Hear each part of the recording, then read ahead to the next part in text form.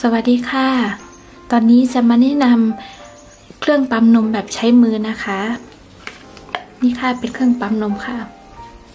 ที่เราซื้อจากห้างหรือว่าเนี่ยค่ะ จะเป็นแบบนี้ค่ะ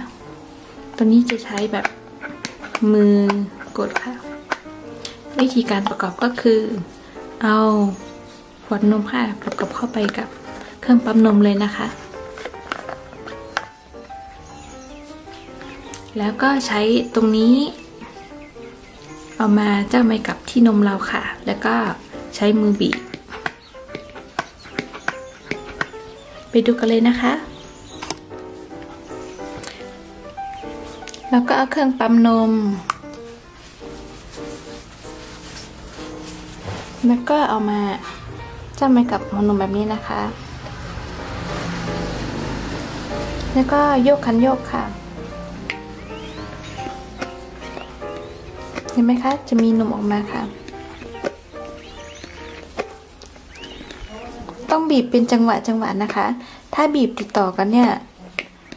เครื่องจะไม่ทำนมจะไม่ออกมาได้เท่าที่ควรค่ะ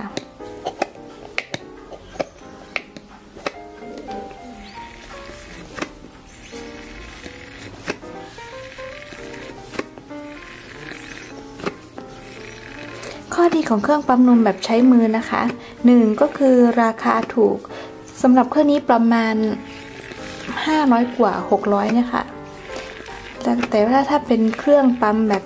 อัตโนมัติจะราคาอยู่ประมาณ 3,000 กว่าขึ้นนะคะ บางเครื่องก็ประมาณหมื่นกว่าบาท ถ้าเป็น 2 หัวนะคะ ใช้ปั๊มพร้อมเดียวกัน 2 2 2 หัวค่ะ ประมาณหมื่นกว่าบาทนะคะ แล้วก็นมก็จะออกมา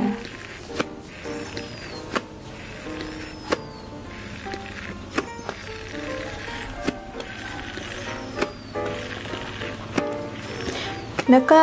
เครื่องนี้นะคะสามารถพกพาไปได้สะดวกค่ะ อย่างเช่นคุณแม่ที่ทำงานออฟฟิศหรือว่าพักเที่ยง หรือว่าเวลามีเวลาปั๊มค่ะก็สามารถพกไปได้ แล้วก็ปั๊มในที่ทำงานได้ จะสะดวกกว่าเครื่องปั๊มแบบอัตโนมัตินะคะ เครื่องปั๊มแบบอัตโนมัติเนี่ย จะมีอุปกรณ์หลายอย่าง จะมีเป็นตัวมอเตอร์ด้วย ซึ่งลำบากในการใช้ในที่ทำงานนะคะ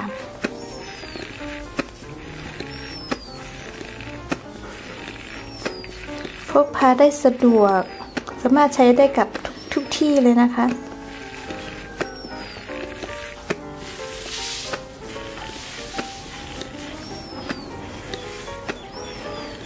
แล้วก็ข้อดีอีกอย่างคือไม่เจ็บค่ะ เพราะว่าเราใช้แรงมือของเราใช่ไหมคะ เราจะบีบแรงได้เท่าไหร่ก็ได้หัวนมจะไม่ไม่ยานแล้วก็ไม่ยาว แล้วก็ไม่เจ็บด้วยค่ะ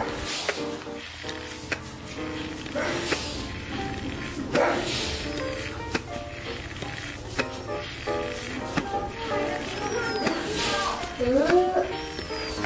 ำหรับคุณแม่ที่ไม่ค่อยมีน้ำนมเยอะนะคะ หรือว่าไปทำงานในนอกบ้านนะคะ ใช้เครื่องปั๊มนี้จะดีกว่านะคะ คือปั๊มใส่ถุงไว้แล้วก็แช่ตู้เย็นไว้ กลับมาบ้านก็เอามาให้ลูกกินได้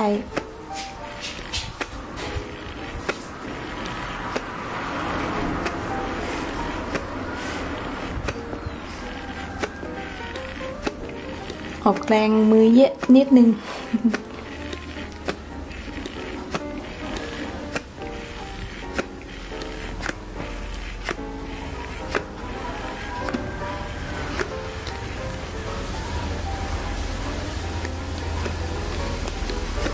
เมื่อเราใช้ด้านนี้เสร็จแล้วนะคะ คือปั๊มด้านนี้เสร็จแล้วก็เปลี่ยนไปอีกด้านหนึ่งแล้วก็กลับมาอีกประมาณสามครั้งอะค่ะ ต่อการปั๊มนมครั้งหนึ่งเห็นไหมคะ นมก็จะออกมาเรื่อยๆ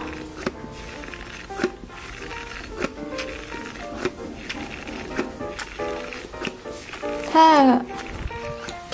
ก่อนที่เราจะ คลอดประมาณ 1-2 อาทิตย์ แล้วก็ใช้เครื่องปั๊มก่อนก็ได้นะคะ กระตุ้นน้ำนมให้ออกมา หลังคลอดจะได้ไม่มีปัญหาในการให้น้ำนมลูกค่ะ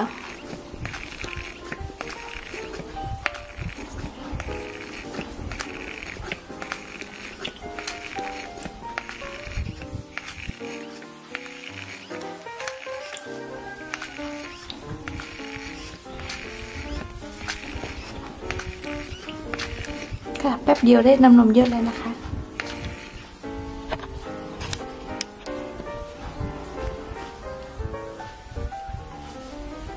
แป๊บเดียวได้ขนาดนี้แล้วค่ะ แล้วก็ปั๊มเรื่อยๆ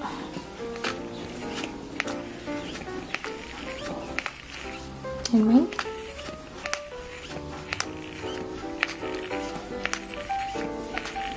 พยายามกระตุ้นนะคะ พยายามกระตุ้นการปั๊ม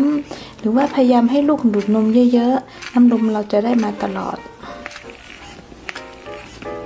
ให้ขนาดนี้เลยค่ะ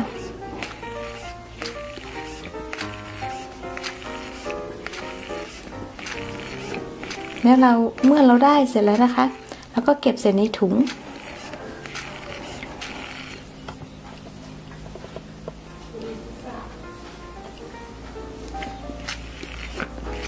เนี่ยค่ะ ทำไปเรื่อยๆค่ะ เปลี่ยนกันไปเปลี่ยนกันมาสองด้าน ครั้งหนึ่งก็ได้ประมาณ6ถึง8ออนได้นะคะเนี่ยไม่ทำเครื่องปั๊มแบบนี้จะไม่ทำให้หัวนมเรายาว เกินไป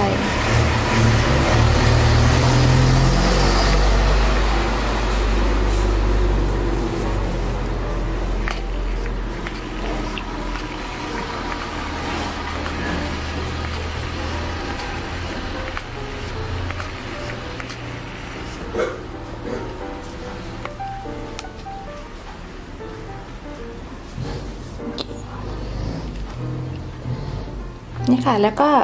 เปลี่ยนไปอีกด้านหนึ่งนะคะ